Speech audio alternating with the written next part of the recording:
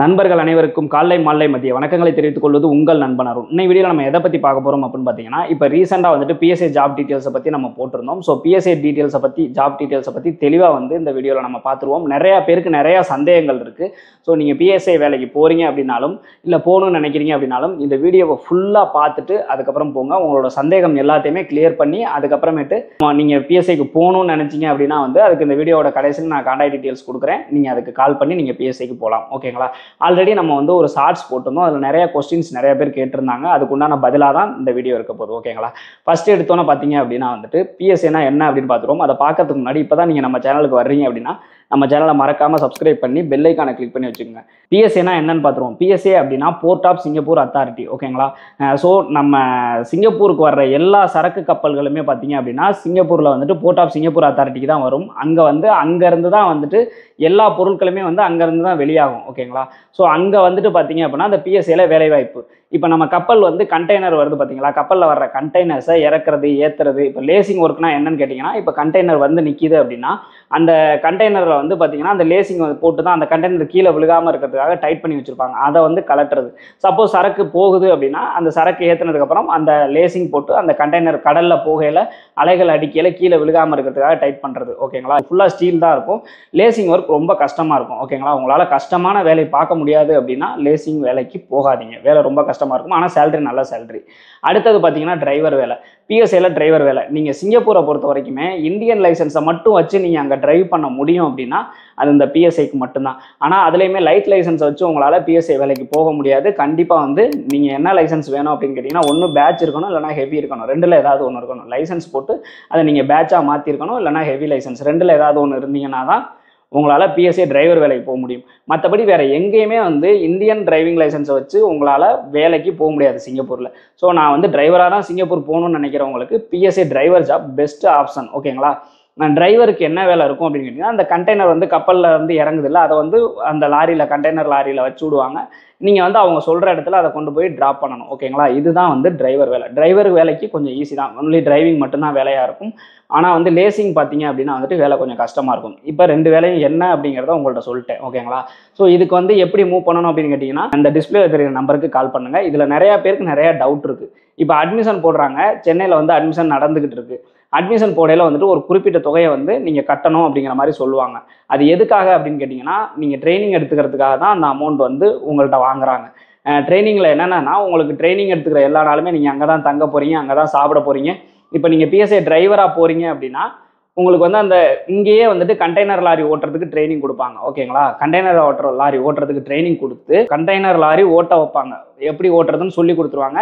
அதுக்கப்புறமேட்டு அந்த ட்ரைனிங் முடிஞ்சதுக்கு அப்புறமேட்டு சிங்கப்பூர் பிஎஸ்ஏலேருந்தே ஆஃபீஸர்ஸ் வருவாங்க. சிங்கப்பூர்லேருந்து நம்ம இந்தியாவுக்கு வருவாங்க. சென்னைக்கு வந்து உங்களை நேரில் வந்து இன்டர்வியூ பண்ணி வண்டி ஓட்ட தெரியுதா நல்லா பார்த்து இல்லை லேசிங் ஒர்க் அப்படின்னா அதுக்கு என்ன பண்ணணுமோ அதை இன்டர்வியூ பண்ணி லேசிங் ஒர்க்குக்கும் உங்களுக்கு ட்ரைனிங் கொடுத்துருவாங்க.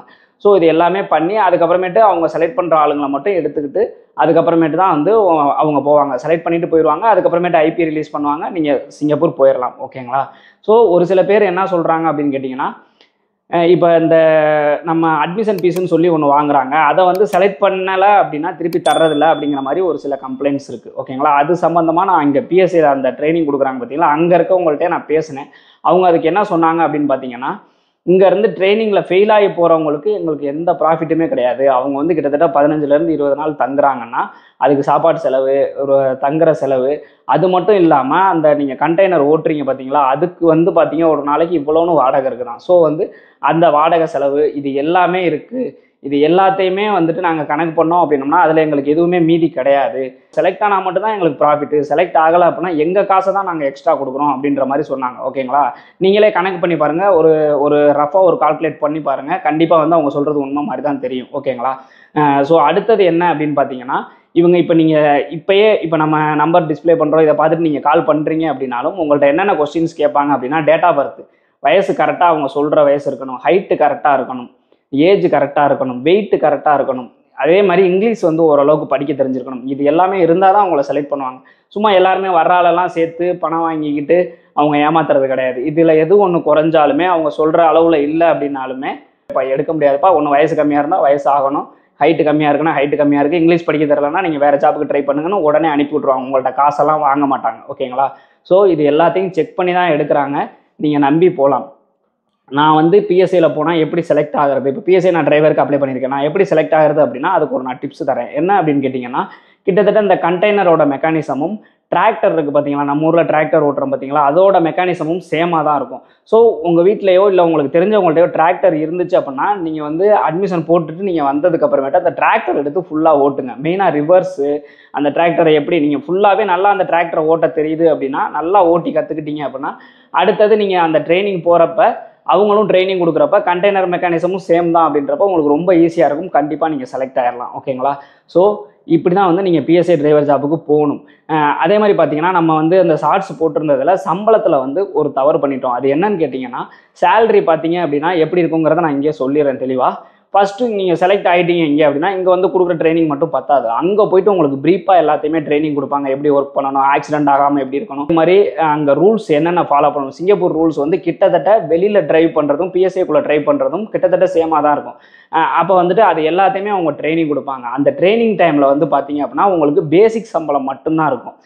நான் எல்லா வீடியோலையுமே சொல்லியிருப்பேன். சிங்கப்பூரை பொறுத்த வரைக்கும் பார்த்தீங்க அப்படின்னா பேசிக் சம்பளத்தை வச்சு ஒன்றுமே பண்ண முடியாது. நம்ம அங்கே செலவுக்கு மட்டும்தான் சரியாக இருக்கும்.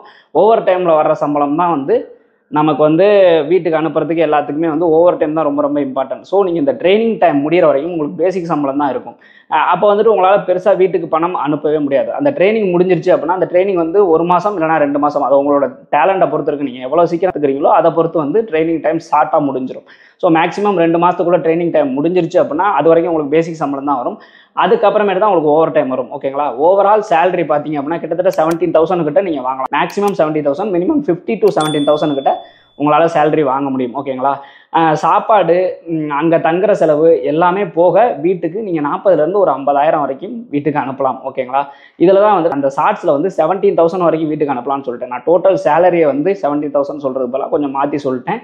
ஆனால் வந்து டோட்டல் சேலரி அவ்வளோ நீங்கள் ஃபுல்லாக ஓவர் டைம் பார்த்தா அந்த மாதிரி வரும். ஆனால் இதில் நீங்கள் பிஎஸ்சி போகிறதுல பெரிய பெனிஃபிட் என்ன அப்படின்னு கேட்டிங்கன்னா வேலை நாட்கள் உங்களுக்கு கம்மி. Twenty four to twenty six day தான் ஒர்க் இருக்கும். ஸோ மீதி நாள்லலாம் வந்து நீங்கள் என்ன பண்ணலாம் அப்படின்னு கேட்டிங்கன்னா நிறைய கோர்ஸ் எல்லாம் பண்ணலாம். பிஎஸ்ஐயில் போயிட்டு நிறைய பேர் driving licence Singapore driving licence எடுத்திருக்காங்க. மற்ற கோர்ஸ்லாம் நிறையா பண்ணியிருக்காங்க. இந்த மாதிரி வந்து நீங்கள் கோர்ஸ் பண்ணலாம்.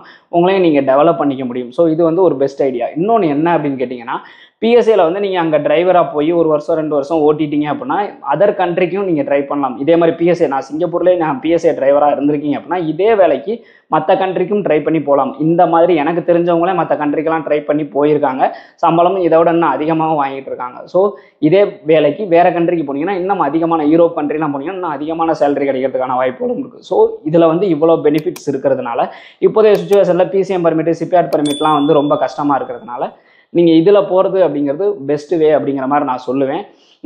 லேசிங் ஒர்க்கை பொறுத்த வரைக்கும் பார்த்தீங்கன்னா கஷ்டமான வேலையை பார்க்க முடியாது அப்படிங்கிறவங்க லேசிங் ஒர்க்குக்கு தயவு செய்து போகாதீங்க. வேலை கஷ்டமாக தான் இருக்கும்.